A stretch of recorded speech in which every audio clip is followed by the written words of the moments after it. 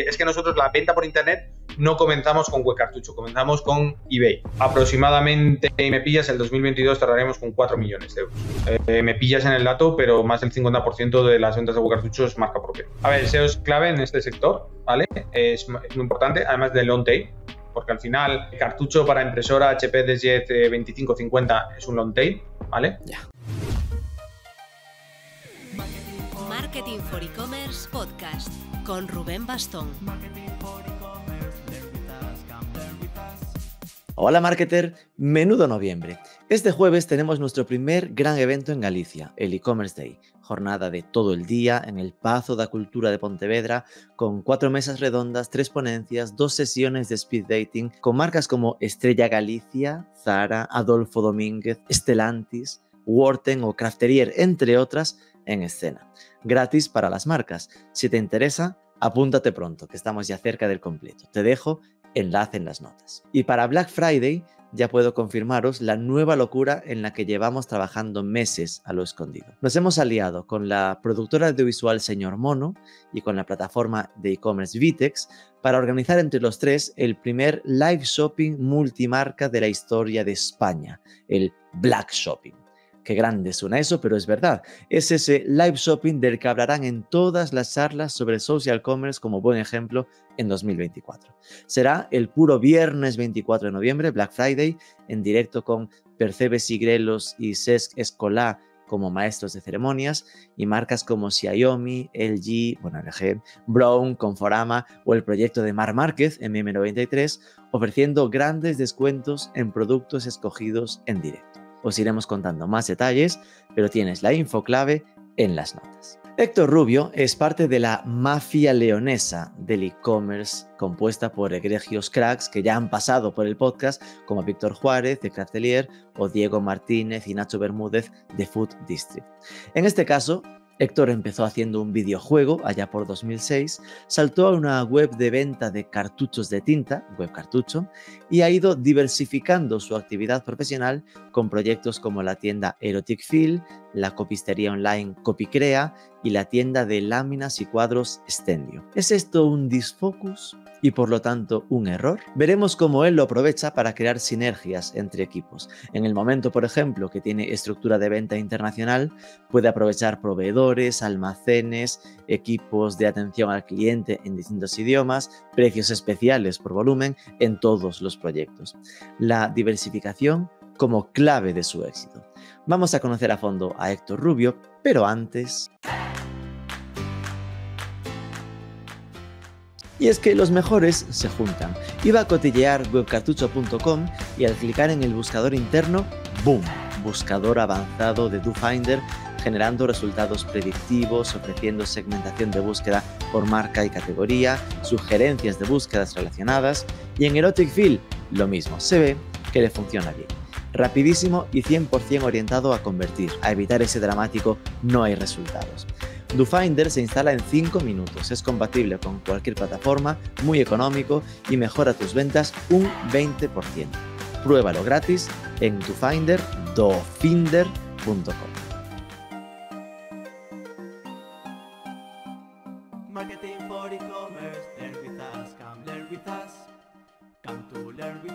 Héctor Rubio, muy buenas. Hola, buenas, Rubén. Bueno, contigo estamos completando la ruta del e-commerce leonés. Después de hacer el podcast ya hace, hace tiempo con mi tienda de arte, ahora Craftelier. Hace poco cayeron los compañeros de Food District y ellos me recomendaron que había un chico estupendo que maneja mucho que se llama Héctor Rubio. Así que no pasa nada, vamos a por él. Así que empecemos, bueno, CEO de Integramedia Group. Integramedia Group no sé, para, para, que nos contextualicemos, dinos qué proyectos están dentro de este grupo. Interramedia Group es la marca global por la que nació la empresa, que nació ya en el año 2006, o sea, hace ya, acabamos de cumplir 18 años y, no, 17 años, si no calculo mal. A ver, es una empresa al final tecnológica y ha englobado diferentes proyectos. Entonces el, el, nombre comercial se asocia a diferentes proyectos. No somos como los ejemplos que pusiste antes, que son pure players de un único proyecto. Aquí nos hemos ido diversificando. Comenzamos en el año 2006 con un videojuego que se llamaba Medieval y eh, luego hemos ido evolucionando los diferentes proyectos. En el año 2013 sacamos Web Cartucho, que es a día de hoy nuestro buque insignia, Y en el año 2019 sacamos Erotic Film, que fue nuestro segundo e-commerce. Y más recientes han sido Extendio, que está todavía lanzado, pre-lanzado, y Copycrea, que también sacamos este mismo año. Cuando nació Integra Media Group, quería ser una agencia, porque veo en, tu roll-up detrás, ¿no? Lo de Google. realmente no. Realmente no. Eh, Integra Media Group nació como para dar cabida legal a, Medieval. Y para ser honesto, en, mis inicios, en mis ideas, porque claro, yo la monté con 22 años, era, vamos a montar un estudio de videojuegos, Medieval es el primer videojuego, vamos a sacar más. Entonces, era un poco, por decirlo así, un nombre para englobar todo eso a lo que sería un estudio de videojuegos. La realidad es que, bueno, luego no giramos hacia el e-commerce y en medio sí que, bueno, pues lo típico, eh, te llamaban empresas, oye, no nos puedes hacer la página web o llevarnos el marketing mm. y tal. Y sí que lo que es el nombre comercial lo hicimos un poco como estudio de desarrollo y marketing para terceros. Eh, tenemos clientes de diferente tamaño, que es un pequeño sector de la empresa que se dedica a ellos. Yo estoy en, la parte de, bueno, en la dirección general, pero nos he centrado en los proyectos propios y es el corazón de la empresa, los proyectos propios. Diríamos que un 20% de la empresa es esa parte de consultoría, tanto de desarrollo como de marketing, que son creo que siete compañeros lo que llevan a esa parte y es como un proyecto más, vaya, pero que sí que lleva como bandera la, marca del grupo. Vale, es decir, que ahora mismo hay un 20% de facturación de negocio, digamos, que sí que es como esos servicios de servicios, agencia, como Integra Media, y el 80%. Eh, esa agencia sí que recibe el nombre del grupo o trabaja como Integra Media Group.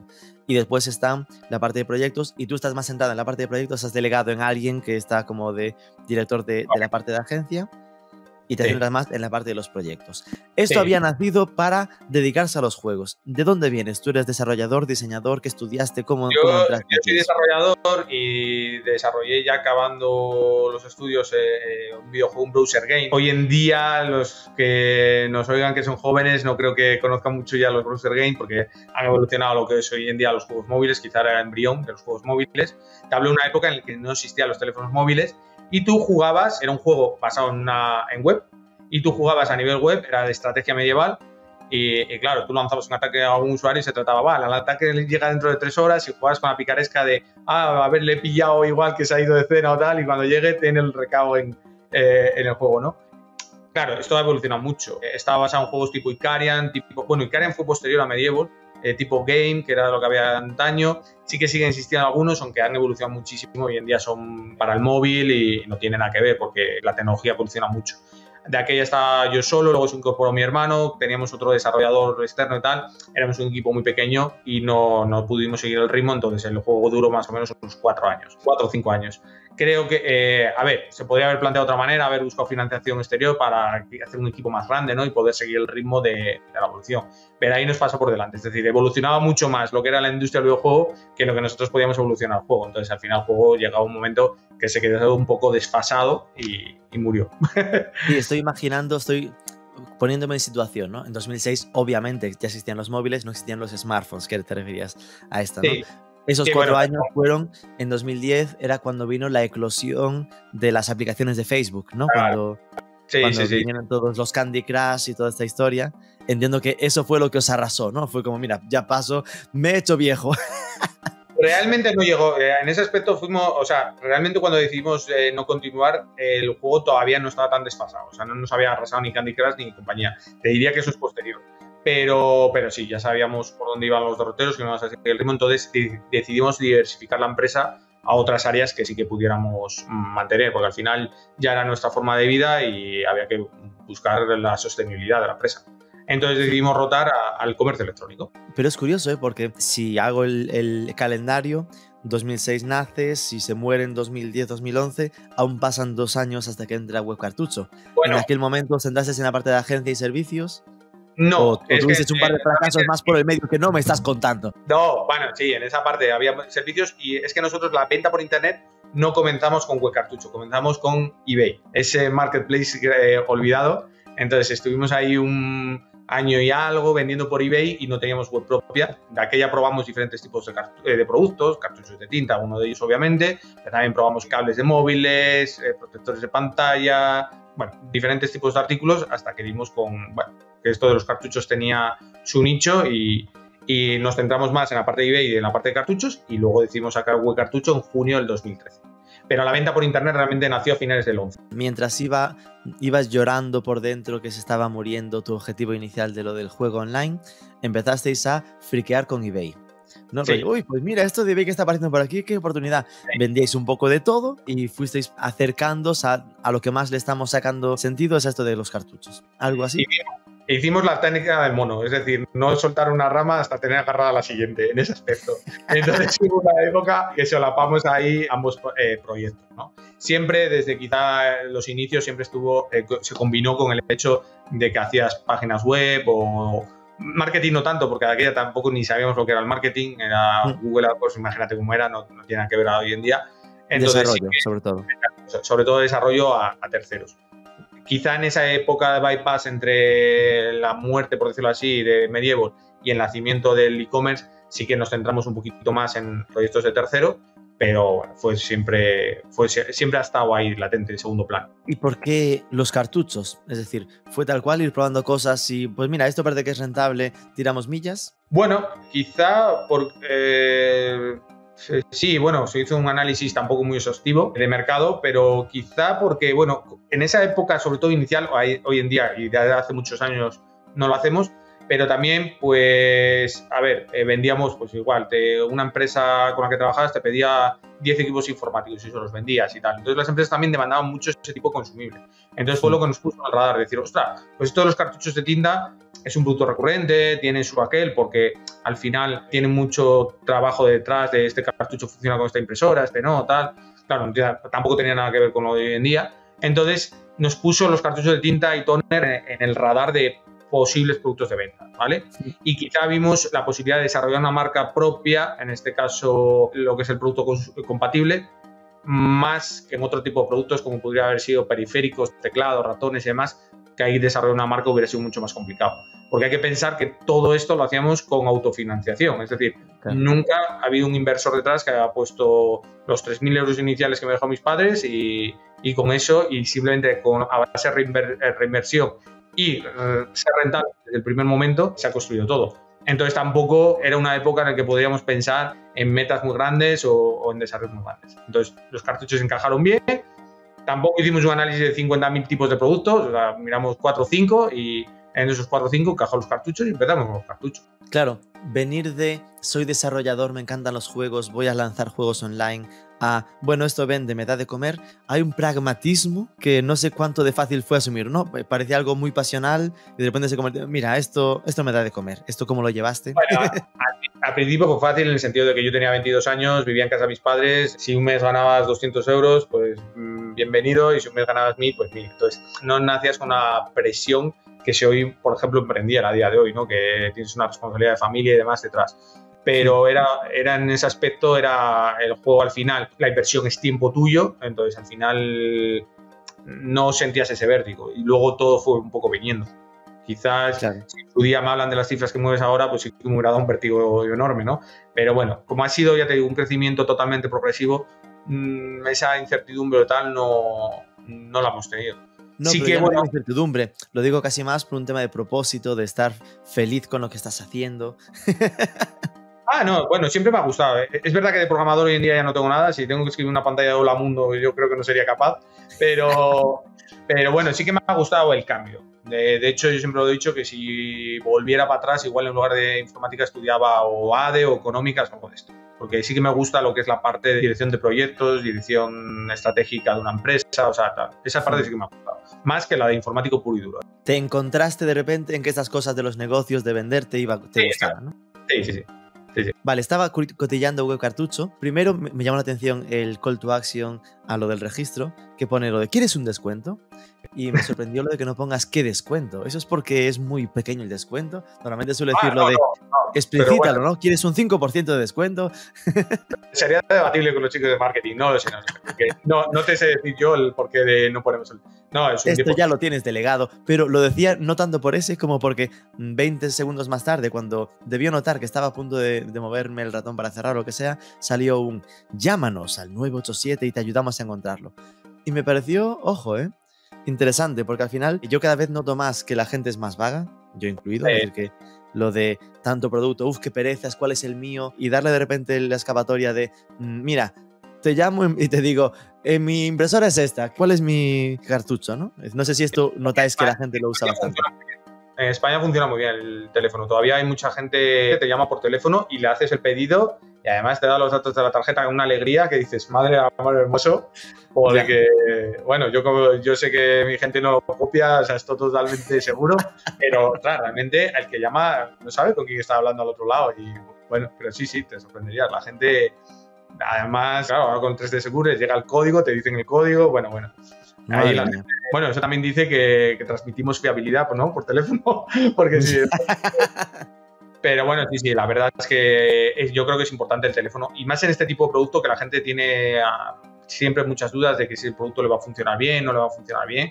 Yo creo que es la clave. Y entiendo que la parte de los cartuchos también ha evolucionado muchísimo. Es decir, no es algo que se haya quedado parado. En aquel momento, cuando nació era bastante recurrente lo de, mira, paso de la marca y me compro la marca sustitutiva. Y cada vez más, como estoy pensando ahora en la mítica HP, que intenta vincularte con su servicio seis meses, esto como fidelización, ¿cómo llamarlo? Eh, esto de, de, alquiler, ¿no? Del servicio que te, que te, incluye ya la tinta. ¿E-, ¿Esto lo, habéis notado como que os ha hecho bajar el negocio? No sé, no tengo los datos de HP, no te sé decir hasta qué punto hay ellos el volumen de negocio, pero creo que no, no tienen. No le hace mucho caso, ¿no? Al menos nosotros no nos hemos resentido por ello. A ver, eh, quizá, fíjate, lo que más se ha quizá notado es Amazon en ese aspecto. Una plataforma como Amazon que sí que al final en nuestro tipo de producto la gente recurre mucho a ese tipo de marketplace, pero no tanto como un servicio como el HP Instant Ink, creo que se llama, que es el, servicio que tú dices. Porque al final la gente sabe hacer números y al final no regalan nada. Al final calculas las copias que te incluye y tal y acabas pagando el precio de, la tinta caro. Entonces al final la, la, única alternativa para un particular obtener tinta barata es con productos compatibles. O, y ahora es cuando me enfado contigo porque claro, una web llamada Web Cartucho, ¿qué esperas? Que venda cartuchos, ¿no? Cartuchos y toners, que es la categoría principal. Pero de repente te vas al menú y hay papelería, hogar informática, en plan, me vendes lápices, me vendes impresoras, me vendes un mogollón de cosas. Pero eh, sí, sí, bueno, al final tienes que diversificar y al final, a ver, nuestro centro sigue siendo los cartuchos de tinta y toner, eso es innegable. Pero al final tienes que saber identificar cuál es el perfil de tu cliente. Nuestro perfil de cliente es el típico particular en el 60% de los casos, con una impresora normal, la típica de 50, 80, 100 euros, y que está sobre todo en época académica, sobre todo, mayoritariamente. Entonces, temas ya sea preescolar, primaria, secundaria, opositor, eh, universidad, etc. Entonces, al final, si quieres crecer en variedad de productos, ¿cómo lo puedes hacer? Pues con productos que ese tipo de cliente te vaya a demandar. Entonces, ¿cuál es el más típico? Papelería. Es algo que pensamos nosotros y creo que piensa casi todo el sector, porque si analizas otras páginas de cartuchos, papelería es el producto secundario más recurrente que normalmente hay. Claro. Es verdad que nosotros toda la papelería la tenemos en stock. Es decir, hay muchas eh, webs que lo que hacen es eh, hay grandes mayoristas de papelería, te inyecta su catálogo y la papelería se encargan ellos de hacer un dropshipping perfecto y lo hacen muy bien, ¿eh? las cosas Pero nosotros no, nosotros compramos, incluso trabajamos con marcas de papel, con Stilder directamente, Faber-Castell directamente, etcétera. Traemos el producto y, lo servimos y eso también nos permite vender muchas veces unidades. Me puedes comprar un Bolivic, cosa que en otras webs te exigen comprar la caja o el paquete de Bolivic porque no te hacen la apertura de envase. Es decir, que siguen siendo productos secundarios. Asumís que la gente no va a buscarse una impresora por ejemplo, ¿no? que podría ser lo más atractivo. Oye, quiero comprarme la impresora y que piensen en cartuchos, sino que os compre cartuchos y como os compra cartuchos en esa parte más de fidelización, ve que hay más productos y que igual cuando se tenga que cambiar la impresora acaba comprándolo aquí porque ya había sido cliente. Y es la fórmula también de incrementar el carrito. Es decir, si yo al final tú vienes a mi web porque me quieres comprar un cartucho o los cartuchos de tu impresora, es más fácil que me pueda aumentarte el carrito comprándome, pues de paso, los rotuladores o los lápices o las reglas que necesitabas para la oficina o para casa, que no que te diga, venga, otro cartucho más, al final eso es más complicado. Y encima al final lo que voy a hacer es que estirar tu recurrencia. Entonces al final me es más práctico ofrecerte productos que sé que vas a necesitar también y que haga que tu pedido medio lugar de 30 euros suba a 40. Y yo creo que es por ahí. De hecho, el peso de los cartuchos estará en un 60-70%, muy alto, pero compras que no incluyan cartuchos, incluyan otros productos, son residuales. O sea, siempre el, producto secundario se compra junto con cartuchos. Es muy raro el cliente que te compra solamente material de oficina y no te compra cartuchos. Igual en época de ahora vuelta al cole es más propenso a eso, pero aún así sigue siendo un porcentaje muy bajo. No, porque me estaba imaginando el drama a lo PC Componentes, ¿no? De, tenemos un nombre que nos encasilla, pero queremos ampliar scope. En, vuestro caso, seguís cómodos con un cartucho porque notáis que el cartucho es el centro y estos son cross-selling. Exacto. El nombre nos ha traído problemas de cara a la internacionalización. Ahí sí que empatizas con tu amigo Craftelier, ¿no? Sí, exacto, exacto. Hemos tenido el mismo problema que, Víctor. Creo que lo hemos resuelto, a ver, es, es, incómodo, pero lo hemos resuelto traduciendo el nombre, no nos ha complicado mucho. En Francia es Cartouche, en Italia, hoy en Italia se bien digo Cartucha, Portugal Web Tinteiro, Alemania Patrón. Y ya con el mercado inglés paramos y es Web Cartridge, a secas, para el mercado inglés y por ejemplo, como primicia te puedo decir que saldremos en Holanda dentro poco y ahí ya no hemos traducido, hemos tirado Web Cartridge NL, que no está operativa, pero estará. Y porque vamos, eh, tenemos que poner un punto final, porque si no acabamos, si seguimos expandiendo países, acabamos con 50.000 nombres. Y ya es un problema, por ejemplo, yo que sé, el precinto o las cajas ya es un problema porque tienes que poner tropecientas marcas, aunque el logo es el mismo, cambiando el nombre, pues ya es un corte. Entonces, hemos parado ahí. Claro, estos son todo decisiones de hace años, entiendo, porque estoy aquí a punto de darte zascas y me siento culpable. Claro, esto eh, Hace poco publicamos un, podcast sobre eh, estrategia SEO internacional. No sé si lo escuchaste. Y ahí se hablaba de lo importante en mercados como Alemania y Francia, Italia, de tener los dominios locales. Y, pensé, pude haber tenido la oportunidad de, ya que tuvo que eh, cambiarle el nombre, pues tenía webpatrone.com, porque era joven, pues seguramente el web patrone de Alemania será .d. Pues no, .com.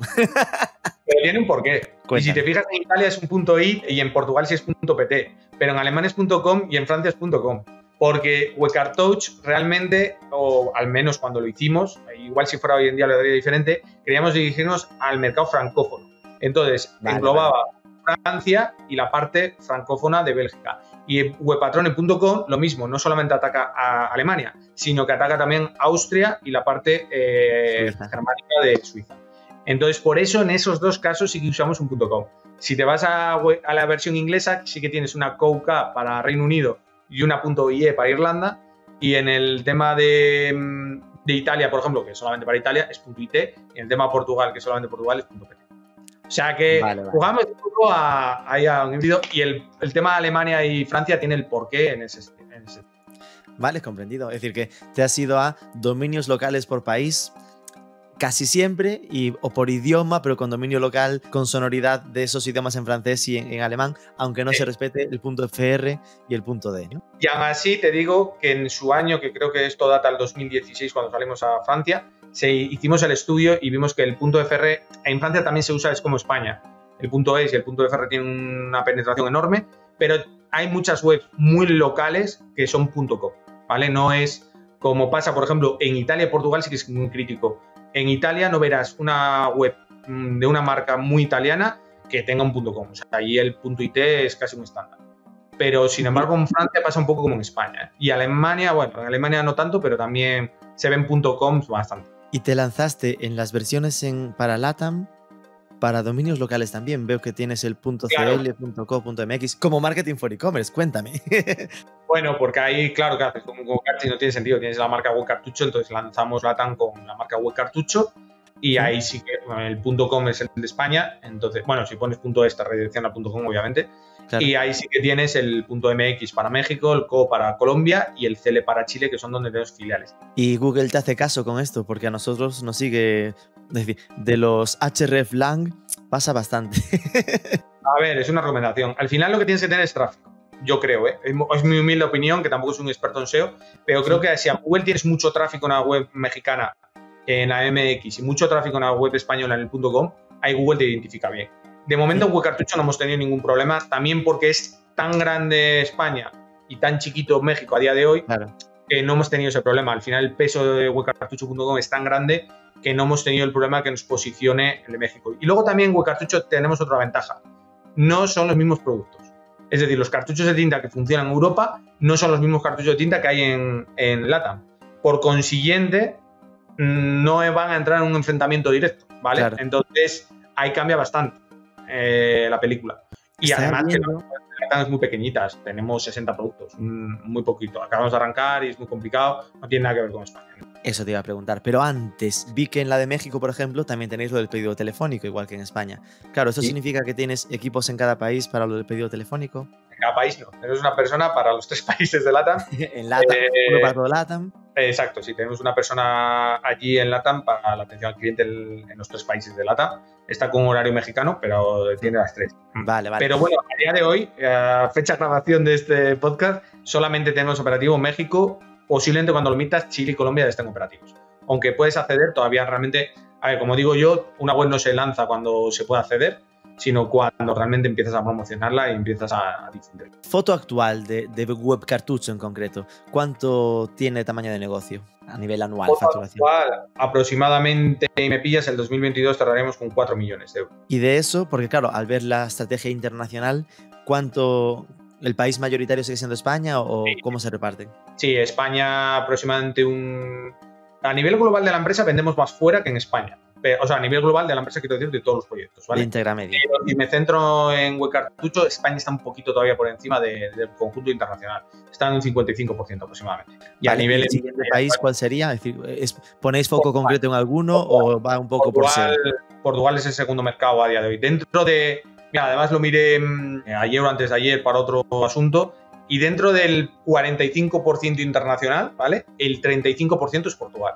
Pero no un Vale. 35 del total, ¿vale? Un 35, de la 35 del, del 100% que sería otros países. Portugal es un 35, Francia un 28 por ahí, y luego le siguen Italia, Alemania con un 10% cada uno, México tiene un 7, un 8, y los, los países que siempre se nos resiste, eh, Reino Unido. Uf, Reino Unido ha tenido su montaña rusa, ha habido épocas que ha ido súper bien, después del Brexit nos hinchamos a vender, eh, luego ha vuelto a caer, bueno, tampoco le ponemos mucha atención, como nos funciona mucho mejor en otros países y los recursos son limitados, al final nos centramos más en los países que, que mejor nos funcionan.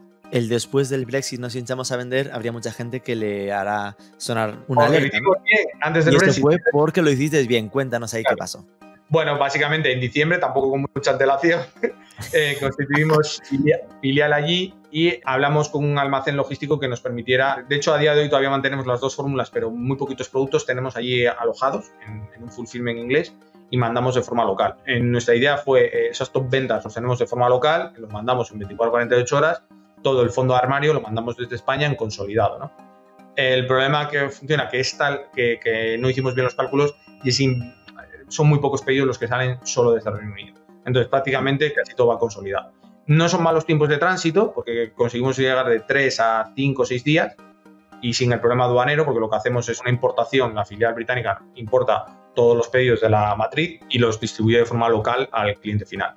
Entonces, para el cliente es una compra local, no tiene tema de aduanas, porque cuando hemos tenido alguna inspección de aduanas o tal, ha sido el conjunto el consolidado. Y al final es entre nuestra empresa británica y empresa española, se solventa de una manera correcta. Y ya te digo, al cliente le llega desde un proveedor británico o un proveedor local. Decías que habíais creado marca propia. Sí, cartuchos tenemos nuestra propia marca de cartuchos que se llama Piscolor. Lo que pasa que en la web no lo llamamos así. Y el por qué es porque cuando tenemos una rotura de stock, sí que recurrimos a otras marcas blancas de, de terceros. No podemos asegurar. hay productos que sí les llamamos Piscolor en la web porque solo vendemos el producto de marca Piscolor.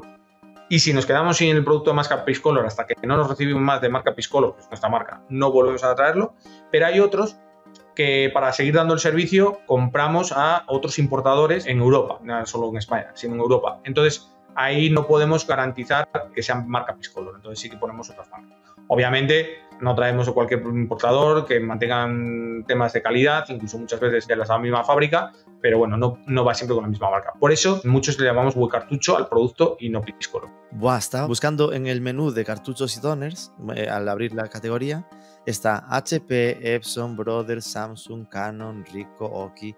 Todo Dios menos Pixcolor. ¿Qué está pasando aquí? Porque Como sabes Piscolor que no no lo busca nadie. Este menú que has dicho es un menú de impresoras, no de, no de cartuchos. Oh, Dios mío, cartuchos y toners. No, pero los ponemos por impresoras. Porque la gente no busca por el cartucho, busca por Yo busco el cartucho de, de la impresora. Ah. Vale, en HP son los cartuchos para la HP 21.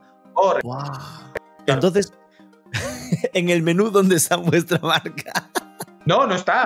Tú directamente, si te vas a una ficha de la impresora, en concreto, Me vas a voy ver, los- a HP cartuchos de la HP 963, por que tiene un nombre alto, debe ser buena.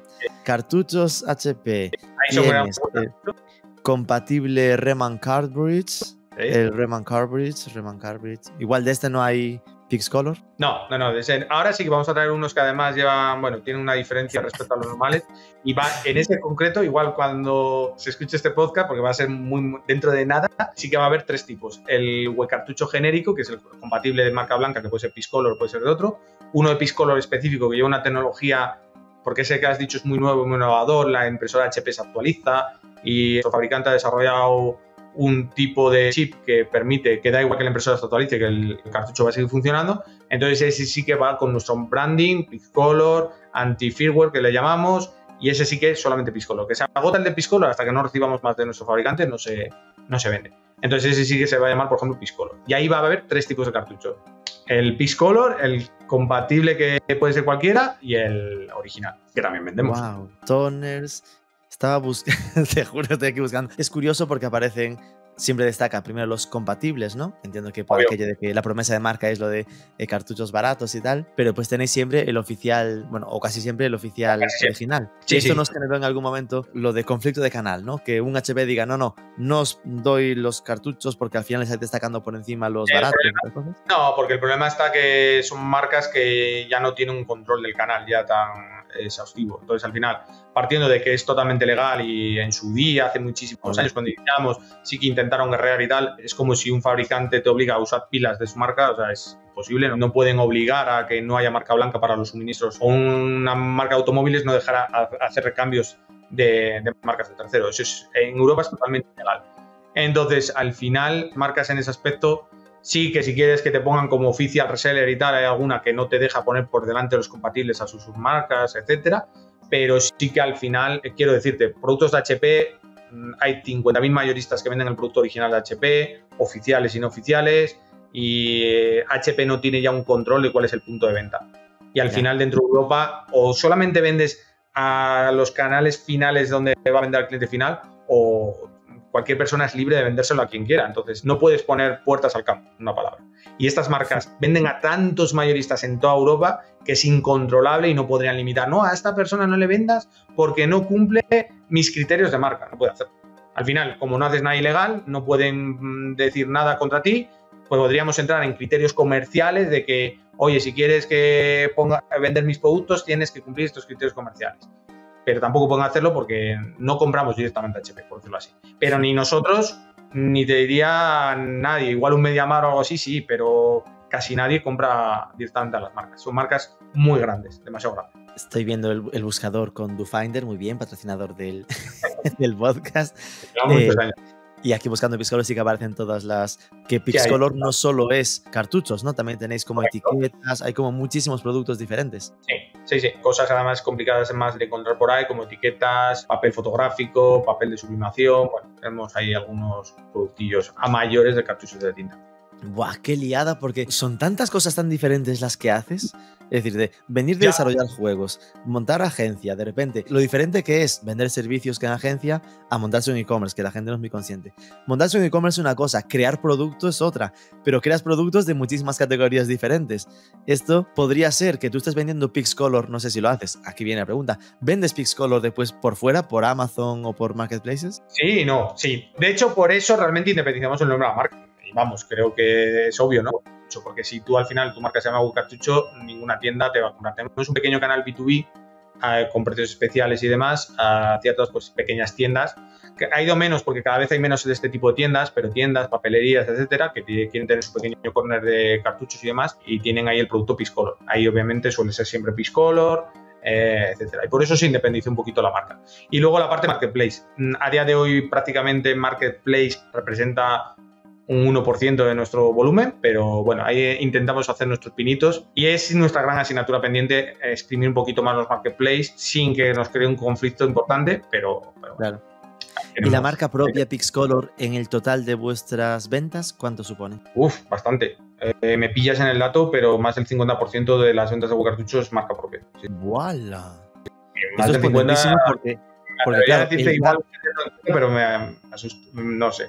También depende que miremos, si facturación, margen, por ejemplo, un original pesa mucho en el volumen de facturación porque son productos caros, pero luego igual en márgenes, rentabilidades o unidades vendidas no pesa tanto. Entonces también Claro, depende. igual, igual no es facturación, igual estás pensando en que a nivel margen bruto, porque obviamente es que el cambio a nivel margen de la marca propia tiene que ser altísimo. no tiene que ver. Y más este tipo de producto que vende el original, lo vende absolutamente, como te dije antes, lo vende hasta el apuntador y al final el margen que tiene es, es ridículo. Entonces al final, sí, en originales afortunadamente no pesa un porcentaje alto, no por nada, sino porque es un mercado que está muy, muy atomizado, o sea, lo vende todo el mundo. Acceder a Claro. un original no es difícil. Es que es- me hace reflexionar sobre lo relevante que es lo de crear marca propia, ¿no? Cuando tienes este tipo de, de proyectos. Totalmente, totalmente. Entiendo que la fabricación es con proveedores en Asia o, o tenéis algo localizado Sí, por prove- España. sí, sí, proveedores en Asia, más que nada porque este tipo de productos en Europa lo hemos intentado alguna vez, pero es inviable. O sea, al final, si vas a venderlo más caro que el original, no te lo va a comprar nadie. Hay que. Eh, queda muy, muy bonito decir, "Buah, lo fabricamos en España, lo fabricamos en Europa, tal. Pero es que al final, hacer eso supone cobrar más que el original. Y entonces pierde el sentido. ¿Vale? Entonces al final no te queda en Asia. Es verdad que dentro de Asia hay muchos fabricantes y hay que saberlos escoger, porque lo que sí que buscamos dentro de lo que es mm, compatible, que sea de calidad y sobre todo, si, ojo con el tema legal. Te dije antes que crear un cartucho marca blanca no es ilegal, pero siempre y cuando no viole la patente, patentes que tenga el cartucho de la marca madre.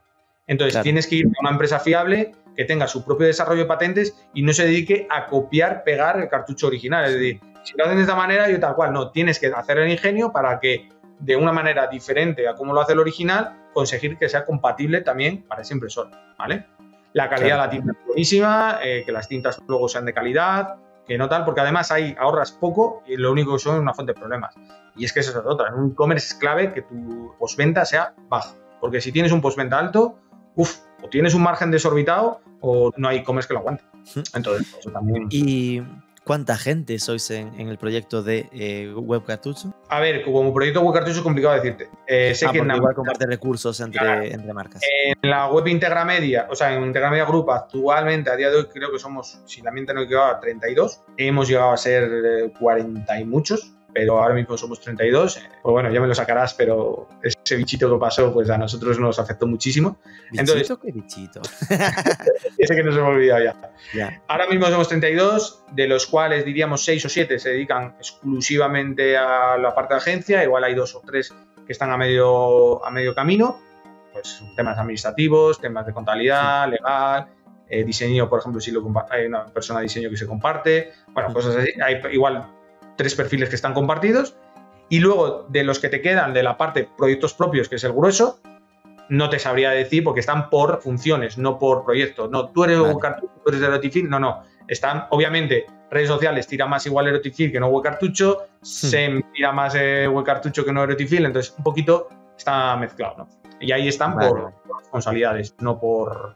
No Pero, por por ejemplo, entiendo que tendrás equipo de producto, ¿no? Para lo que comentas de Asia, es decir, Sí, y- y, bueno, proveedores. Eh, la parte de producto la llevo yo directamente, interviene bastante en marketing y luego tenemos una persona para compras, que es la que se encarga también del desarrollo un poco de producto. Y luego, a ver, en el desarrollo de un producto es que metes también al diseño, tiene mucho que ver. Entonces, Ya. pero bueno, eh, diríamos que el director de producto sería yo.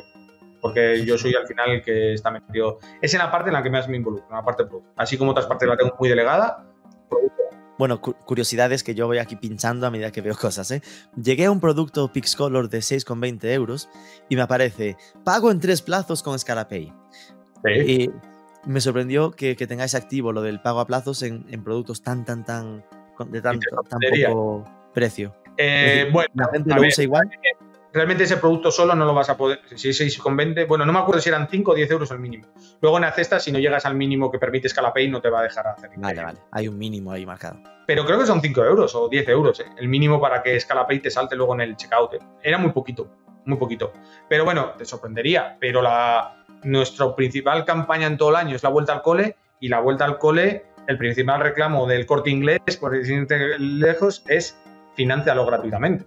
O sea, al final, es un producto que comprado igual en otra época del año no supone un estrés para nadie, pero llegado a la vuelta al cole es un producto donde se nota muchísimo, en septiembre es uno de nuestros meses más fuertes del año, a muchas familias le supone un estrés y al final todo lo que le puedes aplazar, igual la compra de un cartucho de 50 euros, sumada a la compra en el corte inglés, en otro comercio que también lo hace, tal y cual, al final a las familias les permite un poco dosificar eh, ese desembolso que se hace en septiembre. Y lo usa bastante. Y te puedo decir que un 2 y pico por ciento, más o menos de todas las compras, son financiadas. ¿Está lejos de otras webs? Totalmente. ¿Qué porcentaje dijiste que estaba financiado? 8 y pico, ¿eh? 8 y pico. 2, 2, 2 y pico. Ah, 2, uy, qué poco. Sí, por eso te digo, mucho menor que en otras tiendas. Pero bueno, al final no me cuesta nada ofrecerlo. Tenemos muchas formas de pago. Yo creo que la forma de pago no tiene que ser limitante. Al final, hoy en día, las empresas no piden que tengas un volumen de facturación enorme para entrar y que, a ver, lo dominante sigue siendo tarjeta y PayPal. Es lo principal. Mm. Pero bueno. No, pero me pareció interesante. Estaba haciendo la prueba de si me aparecía en el checkout. Yo aquí mm, cotilleo todo. Eh, y en, ese, que en ese lateral está, en plan, me gastaba 6,20 euros con el gastos de envío 10,15 y me vas poniendo, te faltan 33,80 para disfrutar de envío gratuito. vas, tentando a, venga, venga, que te lo regalo. Bien tirado. ¿Y marketing cómo lo hacéis? Ya mencionaste algo de SEM. Entiendo que originalmente, además se nota de esa época en la que los enlaces, los dominios, ¿no? Eran muy de producto pensado al SEO. ¿Mucho peso del SEO o cómo trabajáis el tema de captación? A ver, el SEO es clave en este sector, ¿vale? Es muy importante, además del long tail, porque al final el cartucho para impresora HP DeskJet 2550 es un long tail, ¿vale? Ya. Hoy en día ya lo hace todo el mundo. En su día yo creo que fue uno de los fuertes por los cuales despegamos rápido, por quizá hacer esa estrategia. Luego cuando salimos a Francia nos dimos cuenta que allí lo hacía todo el mundo. Curiosamente, allí siempre nos sacan unos añitos para adelante. Hoy en día ya en España lo hace toda la competencia, pero es importante el on tail. Si te fijas por cada impresora, tenemos una URL específica por cada impresora. Hay las impresoras principales, los contenidos están más currados, otras menos. Luego el blog hay mucha resolución de incidencias o resolución de problemas. Obviamente te centras más en las impresoras más populares, ¿no? Pero es importante ahí el, tema del contenido, sobre todo en cuanto a resolución de incidencias, ¿vale? Eh, es fundamental. Y el AdWords tiene una importancia básica, porque tú piensas que este producto, por ejemplo, un Facebook Ads, lo hacemos a, veces y tal, y sí tenemos algo de Facebook Ads o, Instagram Ads, etcétera, pero es un producto que si yo te lo muestro y tú en este momento no tienes una necesidad de compra de un, o no tienes impresora, o no tienes necesidad de dar un cartucho de tinta, no me vas a comprar. Sin embargo, cuando tú buscas, sí que es importante aparecer. Entonces, el SEO y SEM tiene una importancia muy grande en este sector, muy grande. Y por supuesto, todo lo que sean técnicas de remarketing, eso es fundamental. Es decir, SEO, SEM, remarketing. Dije remarketing me refería a recurrente. Ah, vale, entonces email marketing más bien, ¿no? Sí. El blog es una delicia. En plan, en el webcartucho.com barra blog, es decir, con, en su categoría, no con su dominio, bien aprobado, pero más que nada por los temas, ¿no? Es decir, que claro, hay tanta orientación a mi impresora Rico no imprime. plan, Quien busca literalmente, en plan, no imprime soluciones, cómo imprimir en modo borrador un documento, cómo cambiar la almohadilla de un sello. Es decir, cositas muy concretas donde, oye, al final la conclusión sería, si no lo consigues, cómprame uno. Solución problemas. Al final la gente que acaba en cartucho es para resolver un problema y ya está. No somos una compra, no somos una web de moda que te pueda incitar a la compra. Y al final, eso, para ese aspecto yo creo que nos parecemos mucho a las webs de recambios de automóviles, por ejemplo. Creo que o piezas de componentes, etcétera. Yo creo que ahí nos parecemos bastante, porque somos un poco de demanda. ¿En qué está hecha la web? No, no, a media, a media. Ah, vale, perdón. ¿Cómo, cómo que está hecha? Soy desarrollador, ¿sabes? A ver, a día de hoy ya tienes el producto extra. Si volvieras para atrás, igual te hubieras planteado. Es verdad que también cuando empezamos a medida en las plataformas eh, genéricas no había un Shopify, por ejemplo. Ya. Que a mí me gusta mucho esa plataforma. Y lo tenemos a medida también. ¿Qué ocurre? Como somos inform... O sea, yo o Rubén, mi hermano, que sigue en la empresa a día de hoy, que es el CTO, al final ¿Qué ocurre? Estás acostumbrado a que cuando necesitabas algo lo, diseñabas y lo hacías como y por lo querías. Cuando tú tiras a, una plataforma, sea PrestaShop, pues sea tal, aunque la puedes customizar a como tú quieras, te tienes que adaptar tú un poquito a la plataforma, ¿vale? Porque al final es una plataforma genérica. Entonces, como tenemos mentalidad informática, decimos, ostras, esto no, no queremos que funcione tal cual lo quieres. Y sí que optamos por el desarrollo a medida. A día de hoy, que la plataforma está ya muy estabilizada, tiene sus cosillas y tal, es una pasada porque tú ideas algo nuevo y dices, lo quiero así, así, así, y es así, así, así. No tienes que andar buscando, adaptándote tú a lo que hay en el mercado, tal, que funciona bien, funciona mal, o hay que modificarlo, tal. Problemas. El, gran hándicap que tiene el desarrollo a medida es, son los tiempos. Los tiempos que, claro, desarrollar. Que hay que hacerlo. no es, me voy a probar esta plataforma, me descargo el plugin que conecta con mi web y la pruebo. No puedes hacerlo, ¿no? Tiene sus pros, como todo, yo soy de los que digo que un proyecto de e-commerce o pasar un internet no lo hace bueno o malo la plataforma que elijas, sino lo que haya detrás. Al final tienes que buscar la plataforma todas tienen sus pros y sus contras que mejor se adapte al proyecto y a las personas que van a manejar esa, esa plataforma. Y si se adapta bien, eh, funcionará mejor que una que no se adapte tan bien, aunque la plataforma sea más potente o, con más posibilidad. No, lo decía porque precisamente veía el blog muy bien integrado con el breadcrumb y tal. Decía, no me parecía que fuesen dos plataformas diferentes, ¿no? Lo típico, no, PrestaShop con WordPress. Pero en cambio desaprovecháis un poco la oportunidad de integrar producto dentro de los artículos, ¿no? Eso está en el cuaderno enorme de cosas a mejorar y tal, y porque siempre hay algo más interesante o más urgente y, lo vamos aplicando, ¿no? Pero sí que es algo que, de hecho, está mucha de la información que se necesita para poder hacer eso por detrás, hay muchos artículos que ya están grabados, que a qué productos van y tal, pero falta hacer la implementación técnica para mostrarlos y demás. Espero Porque que... ya no me refiero a un tema manual de poder integrar un enlace en bonito, ¿eh? sino lo mítico de, igual que hay el Blog Related Articles, que se nota que está automatizado. Pero ¿sabes lo que pasa? Que al final dices, no, vamos a hacer las cosas bien. Vamos a hacer una sincronización por detrás, meter los productos y aquí los podemos poner más bonito, tal. Y al final dices, va, que esto en tres meses lo tenemos, vamos a hacer las cosas bien y en tres meses lo tenemos. Y al final eso te pasa con muchas cosas que dices, joli, si lo hubiera hecho, venga, ahora lo puedo hacer igual no tan bonito, pero lo hago de esta manera y lo voy a hacer. Y por lo menos ya lo voy teniendo. Y cuando lo puedo hacer de esta otra manera más perfecta, ya lo haré de esta forma más perfecta. Esa política ahora sí que la empiezo a aplicar muchísimo. En, todos, en muchos procesos. de ir haciendo en vez de esperar a hacerlo perfecto. Exacto, exacto. Por lo menos ir haciéndolo y ir sacándolo.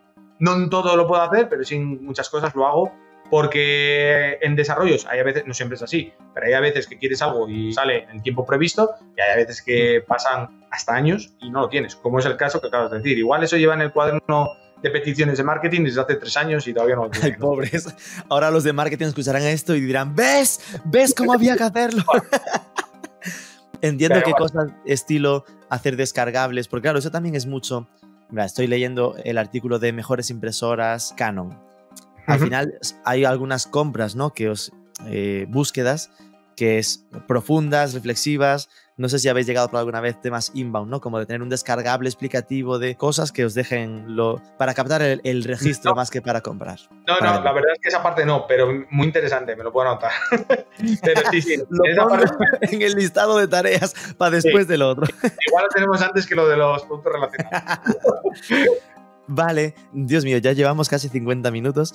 Se nos está escapando cositas como después nació en 2019 Erotic Feel. Vale, es un cambio de concepto tan grande, es decir, como de repente alguien que está especializado en tecnología, impresoras, cartuchos, haciendo producto propio de ese palo, hablando con Asia para desarrollar productos de ese estilo, de repente se lanza un sex shop. Quería hacer un segundo e-commerce, ¿no? Porque al final, si no, la empresa está muy centrada en cartucho y la diversificación creo que es buena y, y muy positiva. Entonces dije, va, venga, vamos a buscar un e-commerce que realmente no tenga nada que ver. Es decir, en el sentido de que en lugar de ser un producto que el usuario acuda a nosotros porque tiene la necesidad, poder nosotros generar esa necesidad, ¿no? Entonces decidimos, barajamos, crear nuestra marca de, ropa, nuestra tema de perfumes, por ejemplo, alternativos, pero eso ya también hubiera sido muy parecido a Web Cartucho. Bueno, fuimos descartando y se nos ocurrió un día también la, parte de tema erótico. Y bueno, viendo todo lo que había un poquito en el sector, creo que no habían, y creo que a día de hoy tampoco lo hay, ningún sex shop que tenga una relación estrecha con marcas y colaboraciones con marcas, siendo multimarca, que, tenga una relación muy estrecha con las marcas y pueda hacer muchas acciones conjuntas con esas marcas y demás. Y nos lanzamos a, eso que es Erotic Y esa es la gran diferencia, creo que, de nuestro sex shop a otros. Mientras que nosotros prácticamente el 80% de las marcas que trabajamos son marcas de terceros, pero trabajamos codo con codo con la marca, no compramos a través de distribuidores. Otros sex shops sí que trabajan a través de distribuidor y es un, más un modelo tradicional de compro y vendo sin esa relación estrecha con la marca a nivel de marketing, a nivel de influencer, a nivel de... Qué Tú- forma tú más elegante de diferenciarse se- de forma sencilla de plátano melón. Ah, no, no, no, no, me- no, pues no me iba por plátano melón, ¿eh? Plátano melón te lo diría que es un tercer modelo, que es desarrollar tu marca propia. Porque Claro, claro, porque eso es, lo decía, por cómo te diferenciabas por lo de ellos no tienen esa relación con las marcas porque han trabajado más Ah, de no, marca no. propia. No, no, no, no, pues no, no me iba por plátano melón, ¿eh? Pero plátano melón te lo metería en un tercer modelo, que es desarrollar tu propia eh, marca de productos. Plátano melón, de hecho ellos mismos lo dicen, vale, sí, son un sex shop, pero es que son una marca de, de productos eh, sexuales, ¿vale? Eh, no venden B2B, solamente venden a través directo y demás, pero al final es eso. Tú un producto plátano melón solamente lo puedes comprar plátano. Sí que es verdad que plátano al principio metía mucho más producto de terceras marcas, ahora es muy poquito, pero bueno, eh, no, no me iba por ello. Y me ha gustado mucho también porque me has hecho entender muy claramente el por qué Erotic Feel, porque me costaba entender la relación entre uno y otro, ¿no? Y es, vale, tenemos un producto reactivo, ¿no? De que el que nos busca y nos encuentra nos compra, pero necesitamos algo que podamos hacer un social ad y que la gente lo compre por impulso. Exacto. Bueno, Social Ad, luego nos dimos cuenta que tampoco podíamos hacer porque están vetadísimos. Porque el sector no se puede. ¡Qué cagada! Exacto. Entonces, eh, fue una putada, pero eso lo vimos después, que, ostras, algo sí te deja hacer algo, algo, poco, pero algo te deja, pero ah, social, nada, totalmente cero. Sea, cero, cero. Pero Nada. bueno, me refería a lo de que eh, genera esa compra por impulso, ¿no? Que no es tan reactivo como, como el otro. aunque sea de forma orgánica y sea a través de otros te permite generar ese impulso y no y no solamente tal. No hemos pasado muy bien con el Pixel, ¿eh? ha tenido ahora mismo no no es tan representativo como llegó a ser en pleno Bloom Satisfyer que llegó Mm. a volúmenes muy altos, pero bueno, nos lo pasamos bien y sirve a veces al final eh, quizás menos exigente que Web Cartucho porque no hay tanta novedad de producto, no tiene esa postventa, quizás es más tal, pero nos sirve muy bien y, y te da un poco de oxígeno respecto a veces al equipo de marketing y tal cuando está trabajando a Web Cartucho, trabaja también en Erotify. No te voy a decir el- eh, su booking insignia es Web Cartucho y se centra más en Web Cartucho que en Erotify. Porque la facturación anual de un Erotic Feel, si Hugo Cartucho estaba en 4 millones, ¿esto qué será? Un millón y medio. Aproximadamente, sí. Sí, sí. A día de hoy sí. Llegó a estar en. Creo que su pico de ventas llegó a ser uf, tres y pico, casi cuatro también. Se llegó a equilibrar a Cartucho. Porque cuando dijiste que el, que el bicho, ¿no? El tema del COVID os había hecho daño. No daño. Nos cambió. Decir- Dije, cambió. Os cambió. Es decir, entiendo que hubo un pico grande de. Sí. Cuéntanos, ¿qué pasó? no para más. Bueno, solamente te digo que tuvimos que poner hasta turno de noche en almacén para, para dar abasto. Poníamos en la web de envíos en una semana y había gente que escribía a la gente de atención al cliente que le diera su cuenta personal, que le pasaba 10 euros por debajo para que colara su pedido. O sea, date cuenta que cuando te encierran en casa, claro, los primeros 3-4 días no vendimos una gamba, No, como Cartucho tuvo que ser la locura. pero de repente en Cartucho fue una locura, pero una auténtica locura. Entonces, al final, claro, Erotifil subió, pero tampoco para tanto. Pero también venía de una época muy alta, que era del Boom Satisfyer, que fue justo previo al COVID. Hmm. Pero bueno, quizás estamos tan asimilados del volumen, pedazo de volumen de Boom Satisfyer, que tampoco notamos tanto el COVID. Pero sí que en la parte de web cartucho fue una auténtica locura.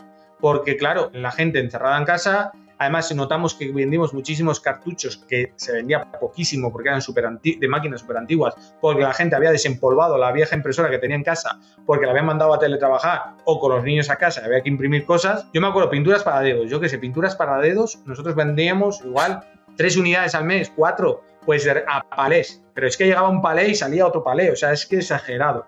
Porque claro, la gente no podía bajar ni al kiosco de abajo, ni a la librería, ni ir al corte inglés, ni tal. Entonces, todo el material de oficina escolar que se podía comprar era a través de internet. Y estábamos todas las webs colapsadas. Entonces, al final, fue exagerado. Exagerado, ya te digo, turno de noche, lo que nunca hemos puesto en la época del COVID. Y lo de, y lo de que os cambió, ¿qué es lo que pasó? Llegamos a crecer, no, nos cambió que ese año crecimos Os muchísimo, hizo multiplicar después hubo que redimensionar. ¿no? una técnica burrada y ahora hemos vuelto a niveles normales. Pero bueno, Vale, vale. Entendido. Y volviendo a Erotic Feel, aquí sí que el aviso de la newsletter pone quieres un 5% de descuento. ¿Ves? Gente concreta que especifica su descuento, no como los de Web Cartucho. luego lo consulto cuando acabe la entrevista. Me juego, me juego lo que quieras, que ha sido un, un descuido, ¿eh? Que no estoy intencionado, fijo, ¿eh? Pero bueno, luego te digo. Eh, y va, me gusta que, claro, me imagino que la plataforma de fondo es la misma, ¿no? Es decir, que sí que hay esos aprovechamientos, sinergias sí, no, de claro. plataforma. Sí, sí, de hecho además tenemos un sistema versionado, o sea, en ese aspecto es una plataforma muy formal, muy bien construida en el tema de que va por versionado. Ahora, por ejemplo, estamos desarrollando la 2.12.3 y incorpora XXX mejoras y se incorporan todos los proyectos. Mm, incorporamos un medio pago, intentamos, intentamos que a nivel tecnológico no haya grandes diferencias entre eh, los proyectos, porque si no, mm, nos volveríamos locos. Y si, por ejemplo, implemento una forma de pago, que ahora vamos a implementar Satispay para Italia, que es como el Bizum italiano, pues lo implementamos en todas las webs, no solamente en web cartuchos, solamente en Erotifil. Por ejemplo, Erotifil en Italia no vendemos mucho, pero aún así lo vamos a meter, porque si no, perdemos el foco que metemos en cada. Me, me llama la atención cosillas como lo de compra y envío 100% discreto. bueno, digo que la caja está serigrafiada, pero por dentro. Creo que hay. Qué bueno. Original mm, marketing, tú por fuera es una caja marrón, pero cuando la abres y está serigrafiada es bastante chulo. O sea, ahí sí que cuidamos bastante el packaging, pero por fuera tú lo ves, es una cajita normal, cuando lo abres está papel de seda, muy chulo, o sea, curramos, pero claro, una vez lo abres, porque si no perdemos la, privacidad. Claro. ¿Y, esto lo tenéis internacionalizado también o solo para España? Sí, de hecho, por ejemplo, en Latam es lo que mejor funciona, la parte de... ¿Onda? Sí, sí. Sí, porque ahí yo creo que el trabajar con marcas nos autoimportamos y, y demás, y creo que, que ahí sí que somos más competitivos. Es que el cartucho de tinta es muy complicado en Latinoamérica, la verdad. Son otros modelos, es otro catálogo, es realmente como hacer otra web de, cero. Cosa que Notifil sí que te traes muchas sinergias de Europa para allá. Y el producto europeo allí se encuentra mal, se encuentra mal y caro. Entonces, bueno, creo que ahí tenemos una oportunidad de desarrollo importante y también personalmente a nivel de empresa apostamos más por Erotifil en, Latinoamérica que no por cartucho las cosas como son. Porque es más sencillo, notáis que hay mejor encaje, ¿no? Sí, sí, sí. Y es más fácil implementar, no hay que implementar tantas referencias, que Cartucho son miles de referencias. Y Erotifil al final, con 300 referencias, pues a, ver, Erotifil también son 2.000 o 3.000 las que tenemos, pero con, por ejemplo, en Colombia tenemos 300 y en es una web, joder, tiene surtido, tiene, tiene variedad. No necesitas tener 3.000 referencias para que parezca que la web tiene algo. Claro, comprendido. Y bueno, esto me hace entender el por qué nació Erotic Feel. Ya no sé qué justificación me vas a dar para que aparezca Extendio y Copicrea en 2023. ¿Qué ha pasado? Bueno, eh, Extendio nace buscando un producto de fabricación nuestra. Ya quería dar un. O sea, habíamos ido a la demanda. Quería un producto de demanda también, que podíamos generar demanda, pero que no estuviéramos metados en redes sociales, ¿vale? Ese era un requisito insalvable. Algo como Erotifil, pero que se puedan hacer anuncios. Y luego de fabricación propia. Fabricación propia y pulir esa calidad y pulir tal. Y tenemos muy buenas ideas en este lío. Debo decir, con que realmente lleva lanzada oficialmente, la gente puede comprar y entrar y tal, eh, no la estamos a día de hoy eh, todavía explotando como, como debería. La idea ¿Cómo se llama la web? Estendio con S. Estendio. Sí, del síndrome de Stendhal, que es que cuando ves una obra de arte te quedas impresionado, ¿vale? Ah. Y de momento todas las láminas son de producción propia de nuestras diseñadoras, las hay muy chulas, chulísimas, la verdad que...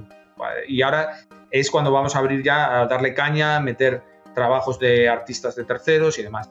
Pero son aquí lo que hemos innovado respecto a la competencia, que hay un mercado enorme de, este tipo de, webs, cuidar mucho la producción. La hacemos nosotros aquí, hemos comprado máquinas eh, plotters muy buenos de altísima calidad, papel de altísima calidad y creo que hay mucho margen de mejora en cuanto a la calidad de impresión y de, papeles que se pueden usar. Y cuidamos mucho aquí de... Sí que es un proyecto más de un producto más cuidado, de mayor, valor, que ahora va a ser contactar con los artistas, convencer a los artistas que se unan a Stendio y queremos hacer más cosas que no solamente láminas de arte, pero que no puedo revelar. pero más productos relacionados con el arte y este tipo de cosas. Creo que es un proyecto pero bueno, este proyecto te debo decir que eh, es más por gusto que por... Creo que va a tardar mucho en ser más eh, rentable o en número significativo como los otros. Creo, ¿eh? Igual me equivoco. Es la leche. y luego el cuarto...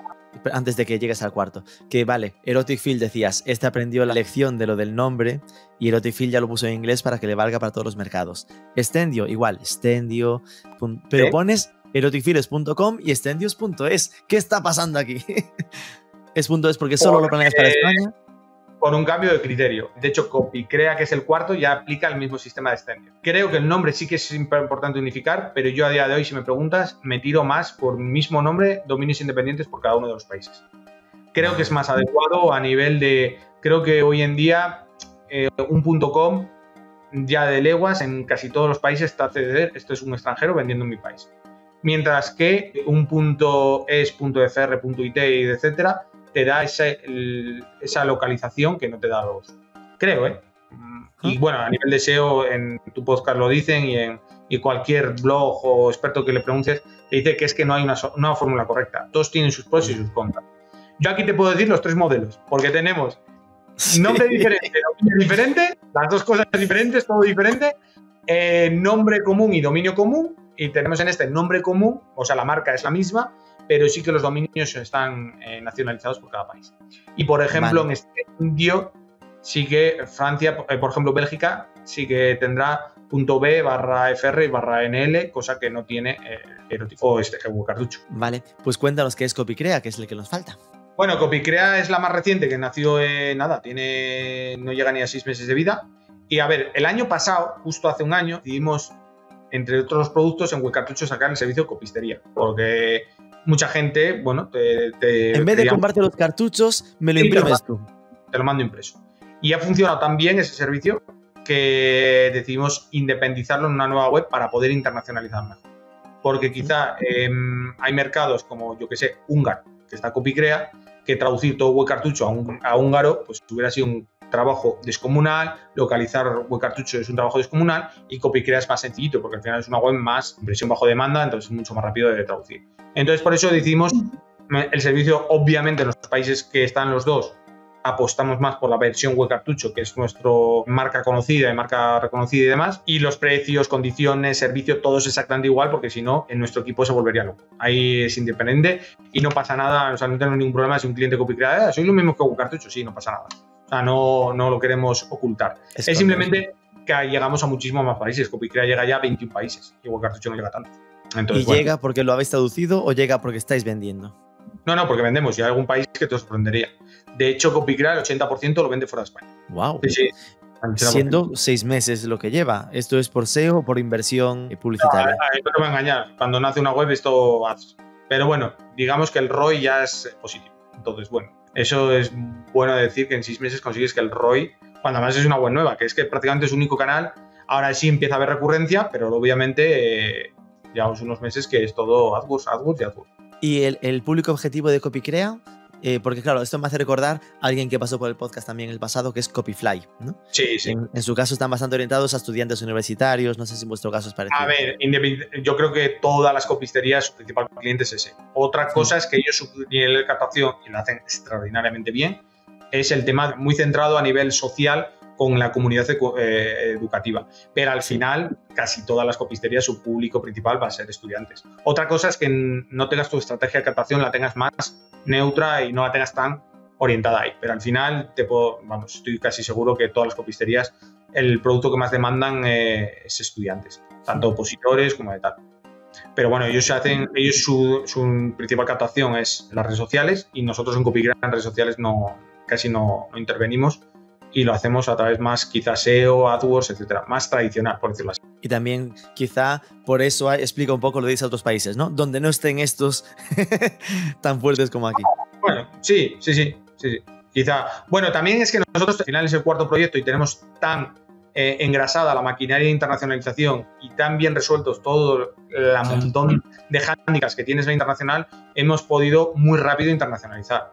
Es que date Claro, cuenta que nos para ellos sería un parto cada país, para vosotros es otro, Claro, otro, otro pedazo países- más del almacén que ya tenéis contratado. Claro, nosotros date cuenta que en Italia, en Francia, en Alemania, tal, ya, te- ya estamos vendiendo. Entonces eh, es diferente. Nosotros poder eh, lanzarlo, eso, al final es un producto más que lanzas en esos mercados que ya estás vendiendo, que no quizá ellos, ¿no? Y al final, ojo, no nos olvidemos que al final Copicrea todavía del volumen total del servicio este de copistería, Copicrea representa un 25%. El 75% es de Huecartucho, Huecartucha, Huetinteiro, Huepatro, Hmm, que son marcas que ya tiene sus clientes allí, tiene, claro. tiene su volumen. Entonces, bueno. Interesante. Sí, y sí. entonces, de estos dos nuevos proyectos, eh, por lo que comentas, está el que te gusta mucho de las láminas, que crees que será más a largo plazo y poco a poco, y este que Sí. parece que es un plug and play que está vendiendo y creciendo mucho más rápido, ¿no? Sí, bueno, a mí me gusta mucho este nuevo proyecto en cuanto porque el crecimiento y tal es todo números, porque aquí tienes también que fabricar el producto, al final es un servicio bajo demanda y tienes su aquel de máquinas, capacidad de máquinas, capacidad del personal, eh, si con tantas personas y estas máquinas eres capaz de producir esto para llegar a esto, eso es muy matemático y esa parte sí, sí que me gusta bastante, porque es muy, muy esquemática. Pero bueno, es, un, es totalmente, volvemos a lo mismo, otro, eh, esto, es que los cuatro no tienen, tienen sinergias entre ellos y tienen parecidos, pero hay proyectos que sí que hay áreas que hay proyectos que no lo tocan y otros que sí. Pero creo que entre los cuatro hacen un tándem muy bueno y, permiten hacer un, una estrategia 360. Y también mola porque hay a veces que escuchando a otra gente o viendo otras experiencias, hay una idea que dices, jolín, solo un proyecto no lo podría aplicar y me molaría poderlo aplicar.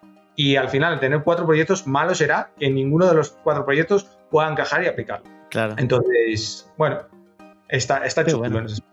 Mm. Entonces, Pero eh, que sean rentables cada uno de los proyectos de forma independiente, aunque luego al final todos apoyan de la misma pata y todos suman al mismo carro. Pero bueno, intentamos que sean rentables. Digo intentamos porque dos, obviamente lo... dos últimas preguntas y te dejo liberado. La Nada. penúltima sería, teniendo todo esto en la cabeza, ahora ya sabemos que Integra Media tiene su parte de agencia y servicios, 20%, Web Cartucho, Erotic Field, Copycrea y Stendio. ¿Cuáles son tus retos para este año? Es decir, ¿a qué dedicas tu, tu energía? Porque O voy a para el 24. 24, me vale. Bueno, yo creo que ya sentar algunas áreas o proyectos que están, sí, lanzados y demás, pero todavía se, tienen que, asentar. Hay cosas que ya están muy maduras y muy bien, y funcionan muy bien, y aunque tienen sus cosillas, como que no pongan el porcentaje de descuento en el, en el pop-up del newsletter, pero, pero ya están muy asentados y sin dejar de lado esas cosas que tienen que seguir creciendo en producto, en innovación y tal, poder asentar un poquito más los proyectos más nuevos tipo Stendio o igual Copycrea, que sí que necesitan un poquito más de asentamiento. Y la, la última sería, ¿dónde te inspiras tú? Es decir, ¿qué proyectos, qué e-commerce o qué tiendas te parecen interesantes para vigilar? Ostras, es que todas tienen algo que copiar. Vamos, que copiar, que, que asumir, ¿no? Inspirar, bueno, llámale como quieras. bueno, inspirar, ¿no? A ver, eh, obviamente no puedes coger todo de una, pero al final, eh, como tenemos, es lo que te dije antes, como te- diversificamos tanto, pues igual mañana eh, te escucho de hablar de Deport Village y dices, ostras, pues mira, esto que hacen es muy chulo. En Cartucho no tiene cabida, pero sí en Erotic Feed, o sí en Copycrea, o sí tal. Entonces, creo que no te sabría decir una concreto. Hay mucha gente a la que eh, lo hacen de la, de la leche y chapó y me quito sombrero, pero bueno, no sabría quedarme con una, la verdad. Es que hay tantas que lo hacen muy bien. Y como ¿Alguna que hayas comprado últimamente? últimamente, bueno, Y ahora dice Amazon. Bueno, por ejemplo, Desenio a nivel internacional lo hacen súper bien y eh, serían mm, del ramo Ascendio.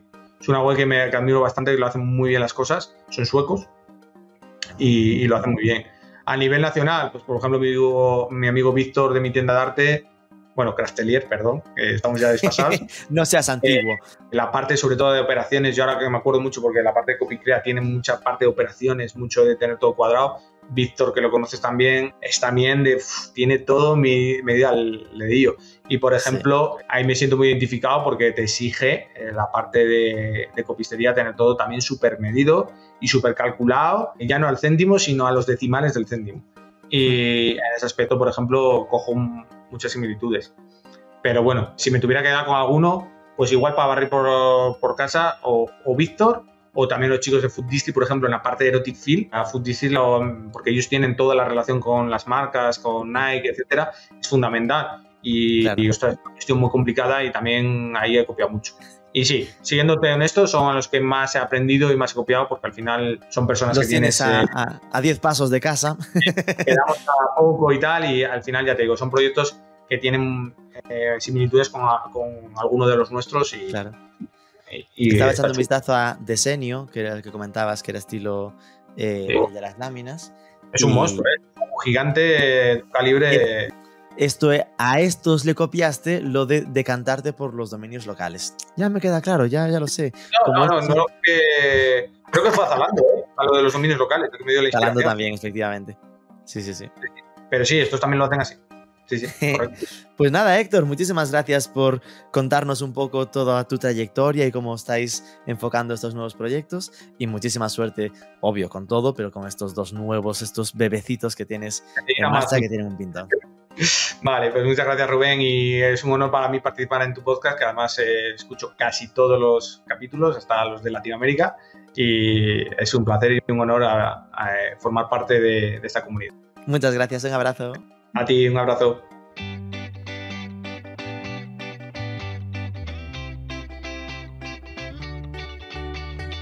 ¿Cómo te quedas? ¿Qué opinas tras escuchar la entrevista? ¿La diversificación como disfocus o como oportunidad de sinergias internas? Puedes decírmelo por Twitter o por LinkedIn, que siempre se agradece saber que hay alguien del otro lado. Aquí lo dejamos por esta semana. Recuerda, tienes los mejores artículos sobre el sector online en marketing4ecommerce.net. Tenemos otro podcast, Marketing for E-Commerce México, donde cada jueves Martín Chávez nos abre una ventana al ecosistema digital latinoamericano. ¿Necesitas formación en temas digitales? Contáctanos en academy.marketingforecommerce.net.